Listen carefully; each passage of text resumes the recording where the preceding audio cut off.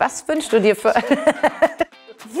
du hast das so schön formuliert eben. Jetzt, okay, ich probiere das ja. immer.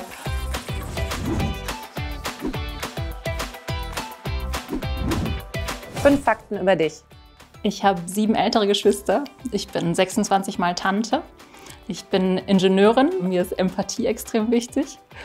Äh, ich bin sehr strukturiert und äh, räume mal alles auf, was ich in die Finger kriege. Ähm, ich mache unglaublich gerne Weitwanderungen. Wie viele äh, Tanten? Das ist ja der Hammer. Startup oder VC-Leben? Was macht mehr Laune?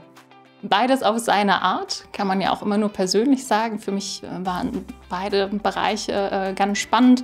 Hm, bei einem Startup hat man ja die Möglichkeit, selber ganz viel zu verändern und ähm, anzustoßen und die Organisation zu entwickeln.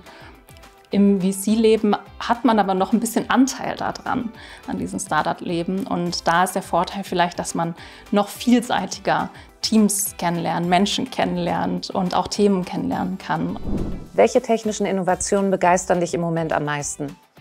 Ich komme vom Hintergrund aus dem Bereich Verfahrenstechnik und im Privaten ist mir das Thema Nachhaltigkeit ziemlich wichtig.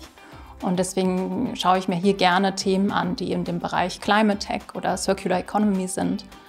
Und da kann ich so ein bisschen vereinen, was, was ich spannend finde. Da merke ich, dass sofort die Fantasie anfängt ähm, zu, äh, ja, zu, zu starten und sich aufzubauen, ähm, wie das eben aussehen wird, wenn, wenn genau dieses Team diese Lösung in die Welt bringt. Und das ist einfach so ein, genau, so ein ganz schönes Gefühl, wenn man äh, denkt, dass die Welt damit auch irgendwie besser wird. Was wünschst du dir für euer Team? Hm, ich wünsche mir jemanden, der zum einen gut reinpasst in unser Team und zum anderen jemanden, der vielleicht nicht so gut reinpasst. Hm, gut reinpasst in unsere Kultur, das, wie wir ähm, zusammenarbeiten, wie wir kommunizieren, das, ähm, wie wir ähm, miteinander umgehen. Hm, und andererseits vielleicht nicht so gut reinpasst, äh, indem äh, noch mehr neue Perspektiven dazu kommen. Und wir ähm, versuchen uns immer zu hinterfragen und auch jeden, jedes Team, jeden Deal von verschiedenen äh, Seiten anzuschauen.